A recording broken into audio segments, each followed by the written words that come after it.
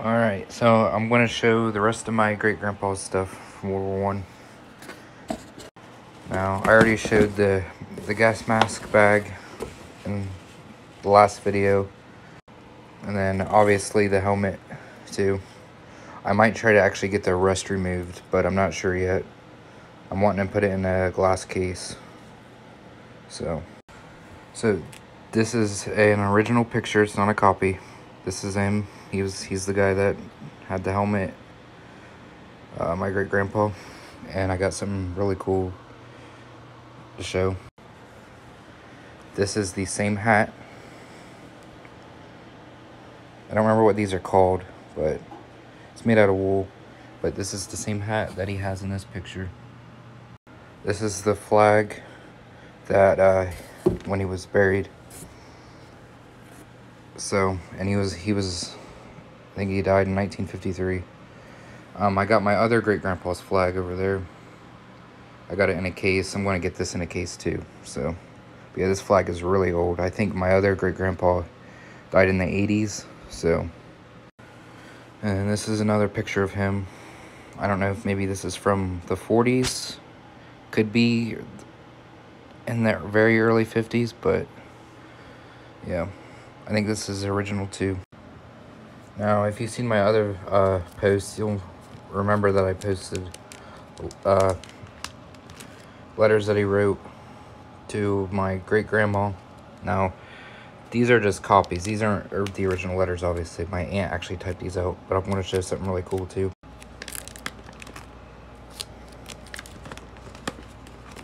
Now, there's this right here. Here, hold on.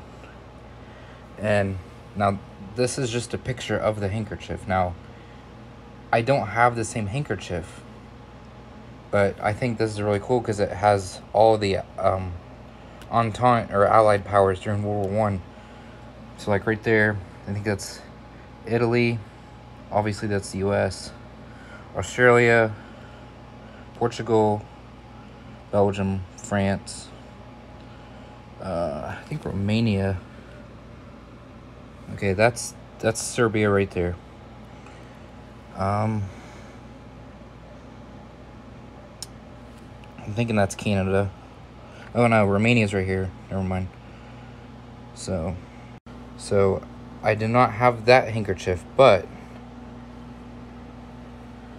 and I washed my hands because I don't want to get oil on this thing. But this handkerchief is over 100 years old. It says souvenir of France. It says victory in French. But yeah, he brought this home probably 1919, 1920, whenever he came back. But yeah, it's pretty cool. So a lot of these are old postcards that he would send over when he was in France. So these are over 100 years old too. But yeah, this is his writing. I can't. It's over 100 years old. Can't believe it. There's his uh, unit.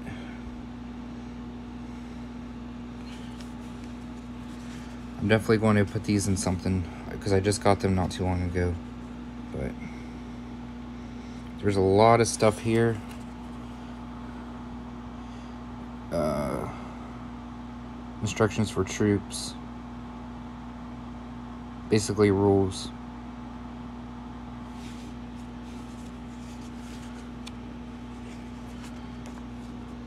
This is from 1919.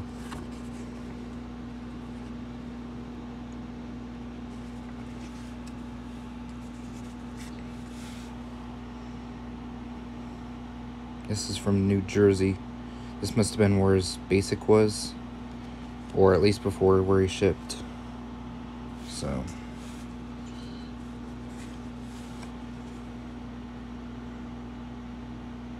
Yeah, I, I can't read French, so I'm not sure what it says on the front, but yeah, it's 1919.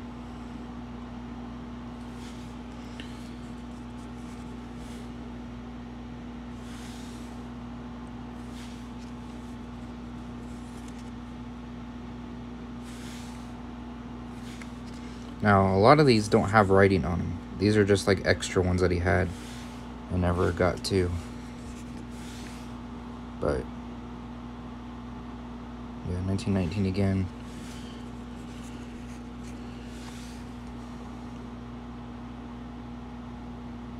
So.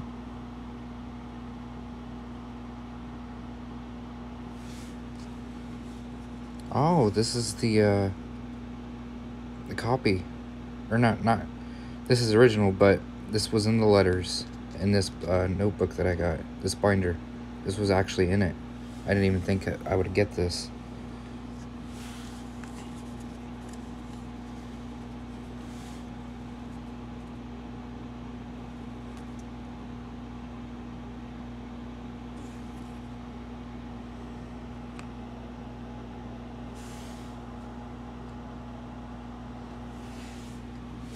And I think this is really cool.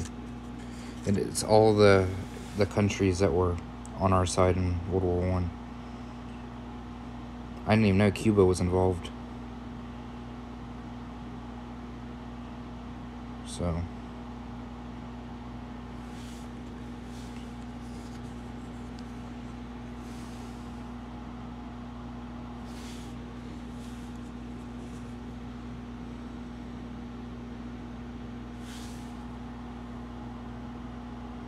Oh, this is when he was on the the ship going to Europe, I think.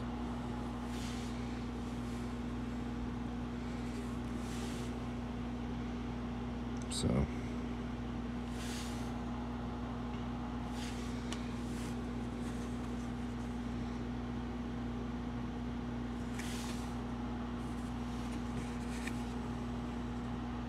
This is to his dad, so my great great grandpa.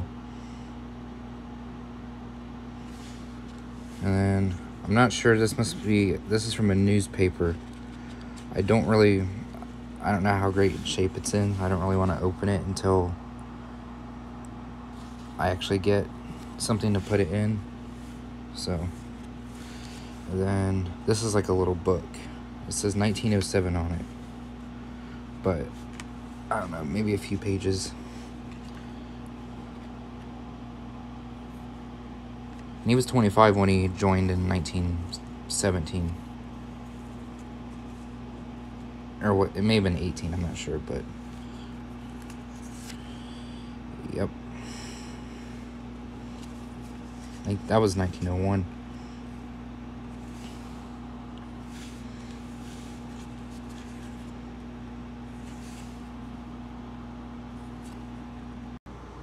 Okay, so I was wrong. It's it's the same kind of postage, like mail, but it's to two different people. So that was, I don't know. If, oh, sorry, because of the glare. Uh, I don't know if they was married yet, but that would be. This is to my great grandma, and I think that's to his mom. So my great great grandma. So they're not the same, but it's the same kind of postage. And then this stuff right here, it's not from the military.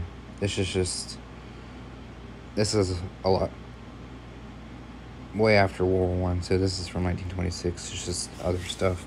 Checks that he wrote.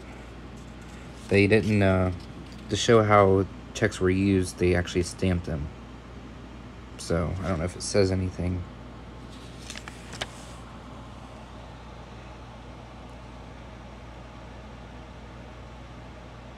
Paid. That's what it says. But yeah, his checks that he wrote, a, a ton of them to different people, family members from that time, other people that maybe helped him out, stuff like that. So yeah, that's that's all I got right now. My my cousin, his granddaughter, said she might have more stuff, but she's not sure yet. So if she does give me anything, I'll keep you guys updated. But yeah, this is really cool to actually have this stuff. So, see you next time.